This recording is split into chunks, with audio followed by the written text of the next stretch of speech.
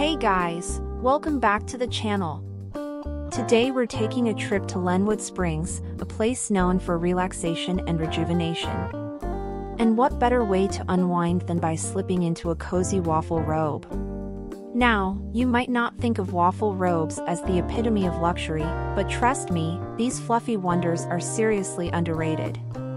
They're like a warm hug in fabric form, perfect for chilly mornings by the lake or cozy evenings by the fire. Imagine this, you wake up to a crisp Lenwood Springs morning, sunlight streaming through the cabin windows. You throw on a waffle robe in a cheerful sunshine yellow, the texture soft against your skin. It's like wearing a little piece of sunshine.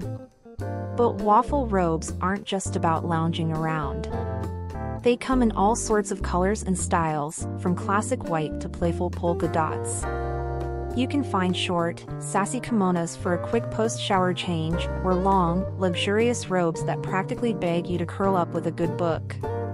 Later in the day, explore the charming town of Lenwood Springs in a chic navy waffle robe.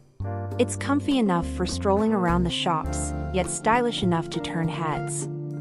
Plus, the waffle weave is surprisingly breathable, so you won't overheat on a sunny afternoon.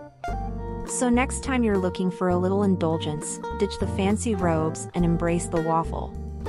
They're practical, comfy, and come in a million different styles to suit your mood. Let me know in the comments below what your favorite color waffle robe is. And if you're ever in Lenwood Springs, be sure to pack one, you won't regret it. Don't forget to like, subscribe, and hit that notification bell so you never miss an episode.